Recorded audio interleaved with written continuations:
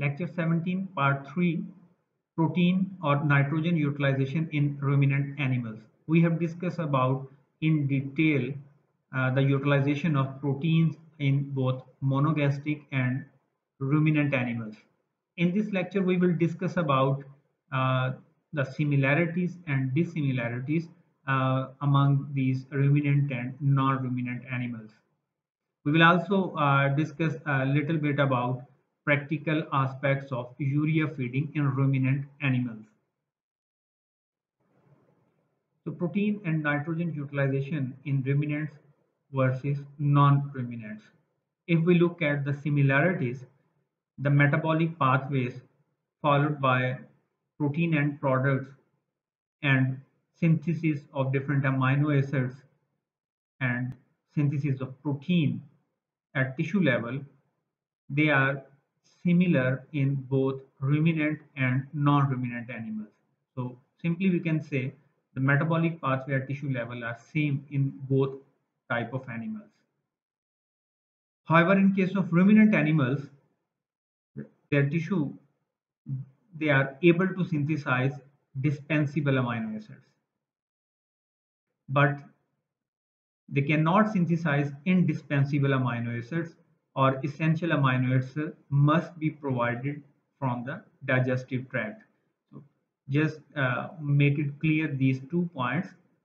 The synthesis of non-essential amino acids or dispensable amino acid is similar in ruminant and non-ruminant animals. Both can synthesize and both cannot synthesize essential amino acids or indispensable amino acids.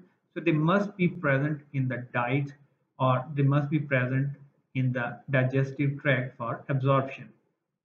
Tissue protein constantly undergoing turnover. So in ruminant and non-ruminant animals, there is a constant protein turnover. There is a catabolism of protein, there is a synthesis of protein. Amino acid not stored, constant supply of amino acid is required. This is uh, a very much important point uh, because the amino acid, if they are in excess of the body requirements, they are oxidized. Or if uh, they synthesize the protein, so that protein uh, is deposited in the tissue. But again, the reasoning that is in the form of protein, not in the form of amino acids. So amino acids, uh, they are not stored. That's why either they should be made available through catabolism or they should be uh, made available through diet in both ruminant and non-ruminant animals. So next comes uh, some of the major differences that we have in case of ruminant animals. Ruminants have microbial population. They have a diversified microflora in the rumen that microflora is capable of synthesizing microbial protein. So ruminant animals are blessed with these microbial species in the rumen and that's why they are able to synthesize microbial protein. So due to the synthesis of microbial protein, the amino acid profile as uh, in case of ruminant animal uh, at the small intestine level is entirely different from that that of the diet. Like if we are feeding only urea to the animal, there is a synthesis of microbial protein. So then the amino acid profile reaching at the small intestine is entirely different from that of the present in the diet. So in other way, we can say the ruminant animals are capable of upgrading a low quality dietary protein and at the same time uh, they downgrade high quality dietary protein like if we are feeding uh, egg to a ruminant animal or even uh, other dietary sources that are of high quality protein like fish meal, blood meal.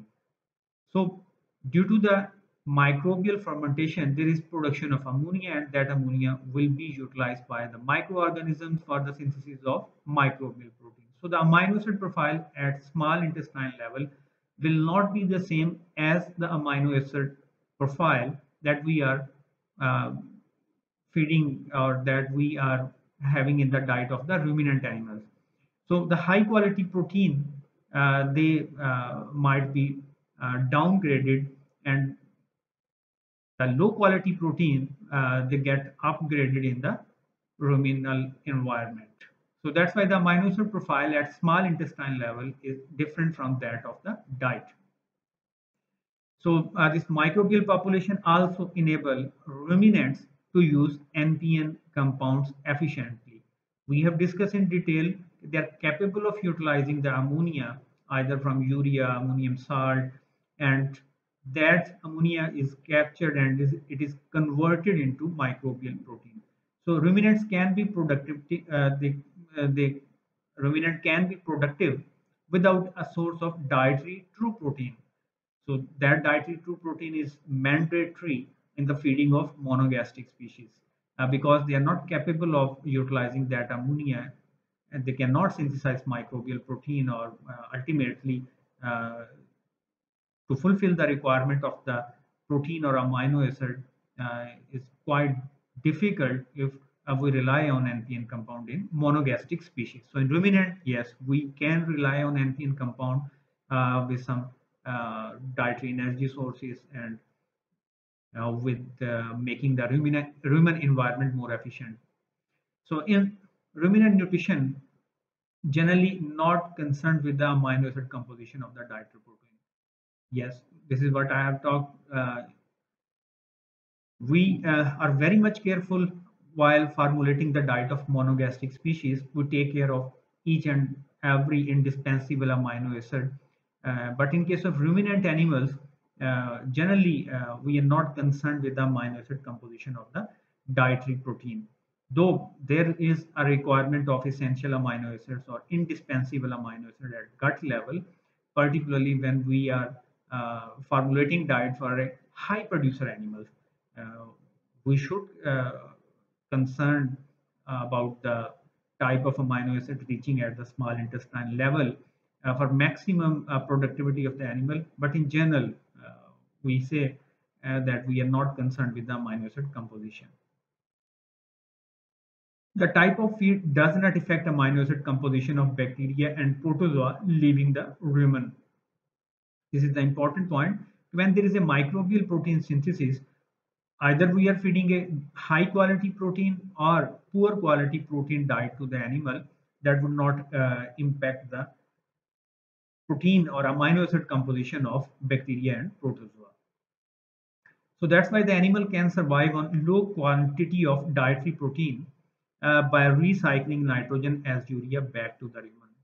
This is an important feature of this nitrogen metabolism in ruminant animals, particularly when their diet is deficient in nitrogenous compound or nitrogenous sources, they are able to recycle urea through saliva and through ruminal wall. So that uh, can provide some uh, amount of nitrogen for the activity of the microbial uh, species. Here is an example uh, I'm not sure about uh, the exact reference from uh, from which research paper this is available, but this is a very good example. in an experiment, the sheep were fed two diets with sheep uh, one diet uh, contained 20% protein and the other diet contained 8% crude protein and the diet contained 20% alfalfa corn and the other diet contained 8% uh, wheat and hay and corn. So these are the two different diets, but just to uh, mention here, these two diets, they supported identical wool growth. That's the important uh, conclusion from this. These two diets with one having 20% protein and the other having 8% protein, uh, these diets supported identical wool growth. Here you look at uh, the values. The nitrogen intake uh, or the nitrogen fed uh, in case of 20% crude protein diet that is 13.8 gram per day. Whereas uh, the diet which contain 8% crude protein the nitrogen fed is 5.5 similarly the amino acid nitrogen entering the small intestine that is 8.8 with 20% protein diet whereas in case of 8% crude protein diet it is 8.1 so almost uh, the similar uh, amount of amino acid nitrogen uh, entered into the small intestine. And then uh, overall, the nitrogen entering the small intestine versus uh, the diet, if you look at the comparison, there is a net loss. Animal is uh, uh eating 13.8 gram of nitrogen, whereas the amino acid nitrogen entering at the small intestine is 8.8 and the nitrogen entering uh, to the small intestine. So there is a net loss. When we look at this, there is a 5.5 uh, gram nitrogen and the amino acid nitrogen entering that is 8.1. So the diet only uh, having 8% crude protein that is 12% less than the other diet uh, that is almost uh, providing the same amount of amino acid nitrogen entering uh, the small intestine. So there is a net gain of nitrogen. This is what uh, I have said uh, that ruminant animals they are capable of converting low protein diet into a uh, good uh, protein diet or uh, they are able to provide more nitrogen to the body. Whereas the high protein diet, they undergo some downgrade process and their amino acid profile sometimes downgraded and there is a net loss of amino acid nitrogen entering uh, to the small intestine and nitrogen entering to the small intestine when we compare it with the diet. Uh, next is uh, practical aspects of urea feeding in ruminant animals briefly uh, we will go uh, uh, through this discussion. Here you look at the rate and extent of degradation of different type of sources. The first one is urea. So if you look at the ammonia nitrogen content on the y-axis, so within a very short time, uh, two hours after feeding, there is the peak amount of ammonia nitrogen in the ruminal uh, fluid. When we look at the linseed, uh, the rate is little faster as compared to the soybean meal and here the peak is after six hours and when we look at the fish meal so in case of fish meal the ammonia nitrogen concentration is very low. It is less than 6 milligram per deciliter. And uh, fish meal uh, take lot of time uh, to be degraded uh, in the rumen environment. So depending upon the release of ammonia nitrogen or the rate of the ammonia nitrogen, we should uh, go for feeding a source of energy or adding that type of feed stuff in the diet that will supply energy at the same time. So here you can compare okay, when we feed urea to the animal, the peak is within two hours. The ammonia nitrogen level is at the is at its peak level and on the right hand side graph here you can see the when we feed starch to the animal, the maximum amount of VFS, uh, moles of VFS production is after two hours of fermentation. So it means when uh, we are feeding urea to the animal, we should complement it with amount of starch in the diet. Similarly, when there is a linseed meal as a protein source, then we should go for feeding ground corn in the diet. Uh, so that uh, the energy production should be at a uh, time when there is a production of ammonia nitrogen from linseed meal. Similarly, for soybean meal, the best option is to go for cracked corn. And for fish meal, the best option is to go for the cellulose. So in this way, uh, we can synchronize uh, the ammonia nitrogen production and energy production in the rumen uh, by adjusting the type of feedstuff uh, according to the uh, rate and extent of its degradation. So this is the best example, uh, though it's from some research paper, and this is very good example that shows uh, about the synchronization of uh, this uh, ammonia and VFS production. So this will result in maximum ruminal efficiency for the production of microbial protein and the utilization of ammonia as well as VFS. So if we look at the urea, urea contains 200 81% crude protein equivalent. So this is very astonishing how uh, it come uh, or it has more than 200%, whereas usually uh, we say 100% is uh, the maximum limit. So if you look at the amount of nitrogen in urea, it contains 45% nitrogen. So when we multiply it with the factor 6.25, you get a value of 281 percent. So the, uh, this is uh, the way how we calculate the amount of protein in a feedstuff. Uh, we do uh, nitrogen analysis and after determining the nitrogen content, we multiply it with the factor 6.25, assuming that on an average basis, uh, the protein contains 16% nitrogen. So this factor uh, is 6.25 for average. Uh, if we know about the type of a feedstuff, we can uh, go for a different uh, factors. Uh, so when we multiply this with 45%, we get a value 280%. So how can urea have more than 100% of crude protein? So this is a very good question. So does this mean anything practical or is it just academic? Uh, frankly speaking, and very sweet answer of this is this is a simple that academic calculations because uh, this is not a true protein. This is the nitrogen, and that nitrogen is liberated in the form of ammonia. So if microorganisms they are capable of uh, fixing that ammonia into microbial protein in the presence of energy, then definitely we can get uh, protein up to this level. Uh, but under practical circumstances, uh, it could be difficult uh, for the system to generate 281% crude protein because a very high, uh, highly efficient system can do this and when synchronized feeding, uh, synchronized release of nutrient can do this.